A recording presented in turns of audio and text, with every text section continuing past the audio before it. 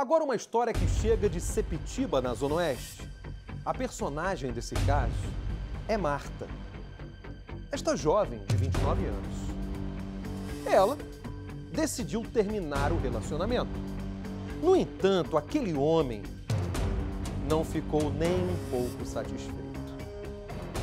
O ex de Marta começou a pensar, dia após dia, o que deveria fazer diante da recusa dessa mulher em continuar o namoro.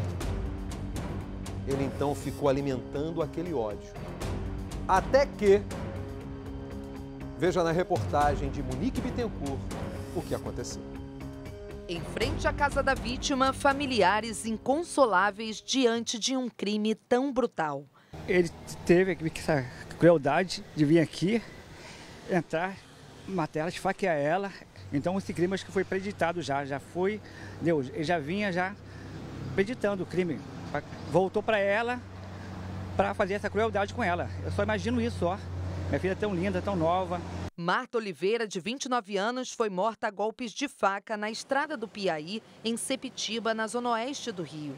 O principal suspeito é o ex-namorado, com quem a vítima tinha um filho de apenas oito meses. A família não tem dúvidas de que o crime foi premeditado. Segundo testemunhas, o ex-namorado de Marta chegou aqui por volta das 5 e meia da tarde, acompanhado de um comparsa. Marta estava com a filha de apenas dois anos, fruto de um outro relacionamento. E tudo indica que ela foi esfaqueada na frente da menina.